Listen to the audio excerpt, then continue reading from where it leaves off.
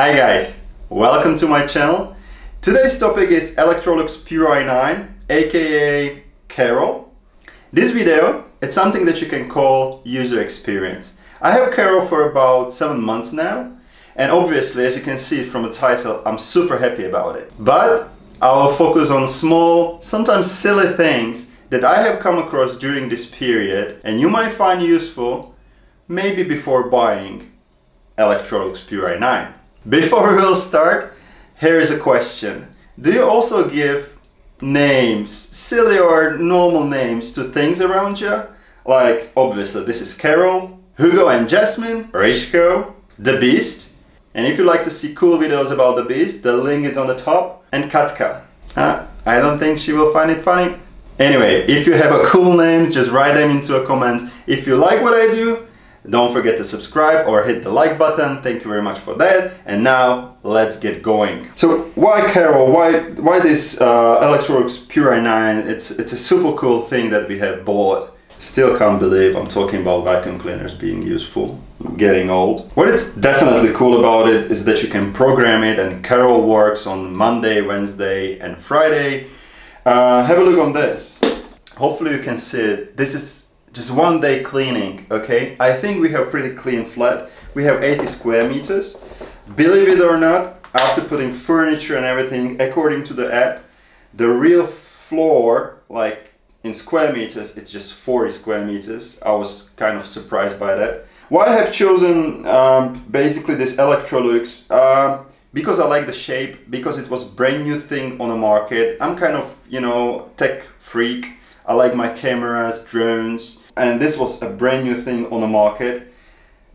It was quite costly and are you surprised by this? It came like this in the box like some kind of a expensive bag for, for girls. Uh, but you know the price tag was 700, more than 700 euros. Now you can buy it somewhere around 600, something like that. Anyway, it was super cool buy, as I said, but, and this is the main story of today's topic, there are some things that I'm not super happy about, some things that are sometimes a little bit annoying, and some things that Electrolux can do a little bit better. Let's now talk about those silly troubles. Okay, so first thing is it's the battery, several points towards this. I think Carol is losing the, the capacity quite significantly. I don't know if it's because of updates. We haven't really changed a lot in our flat. Uh, but when he started, he was cleaning from 9 till I think 1 o'clock. Uh, the thing is, he needed to charge fully once and then he was all okay. Now, because he needs to charge twice, uh, it takes him like up to 3 o'clock, so additionally 2 hours and friend of mine has the Pure i9 as well. Uh, he's, he, he's facing the same experience. So there is a quite significant, you know, uh, lose of capacity of batteries. Another, another story is it's charging. With Electrolux guys, they, they schedule it or they have planned it like, okay dude, you will clean until 95% of your battery is gone, then you will start to search for your, for your plug-in station. Well, it's good because you are using the batteries to the top capacity, but sometimes you will find Carol, you know, just being like 10 centimeters, 20 centimeters to the docking station or plug-in station, and he simply just dies there. Uh, sometimes you will find him somewhere in a flat uh, because he's not the brightest thing on, on a planet. Sorry, man. Uh, he runs out of the power, so sometimes, like from 10 times, I would say two or three times. You will find him maybe two or three is too much but one or two times you will you can find him somewhere in a flat out of juice just just lying there and having having his fun time.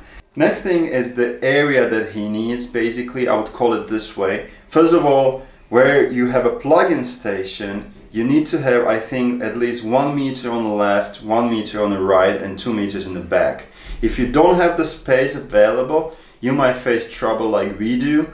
Uh, come on, I will not give him that much space. What happens then is that he go on his GT and he simply cleans like one meter and stuff like that and then he says, ah, it, and he's done for the day. when he's leaving the room, you have that small bump or stair, or I don't know how you would like to call it. It's not stair, it's just a bump uh, between the rooms.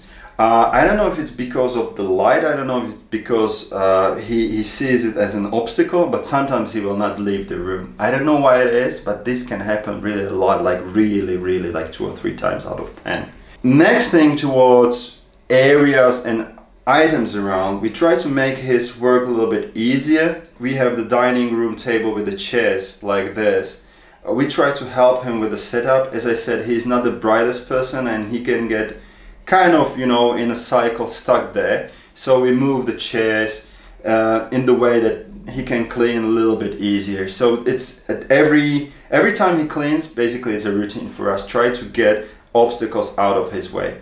When I'm talking about obstacles, I'm talking also about animals. Guys, if you do have animal at home, think twice. Rishko, Rishko is okay because Rishko is in his duplex during the day. He likes to sleep during the day, that's fine. But if you have a dog, dog likes to sometimes can make a puppy, and this is really a true story from my friend. The doggy was sick then the vacuum cleaner has started, and trust me, he was not laughing the same way as I did when he told me the story. We have just normal, like, let's call it a wooden floor. But if you have a carpet, we do have one carpet that is in the middle of the big room.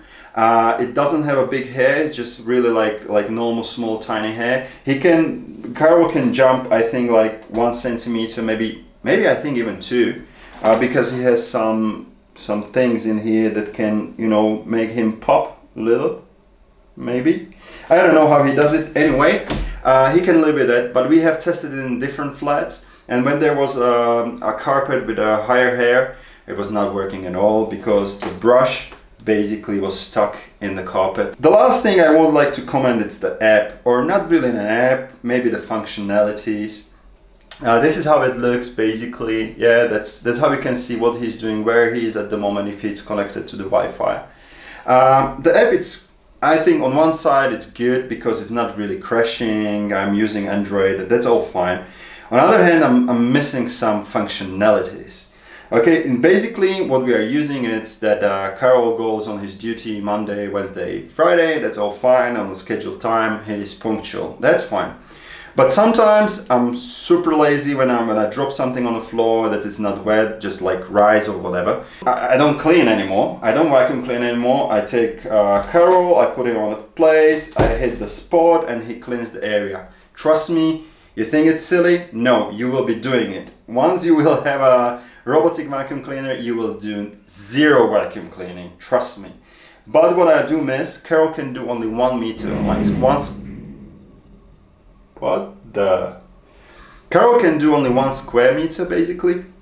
That's how he's programmed and that's something I do miss here that maybe there should be an option to choose also to do two square meters. I think Roomba can do two uh, and this is something like then you need to move him or or Rishko is on the carpet, he loses his uh, so I need to, you know, I would like to vacuum clean, I need to hit it once, I need to hit it twice uh, in order to you know go around the, the whole carpet. That's one thing I'm missing.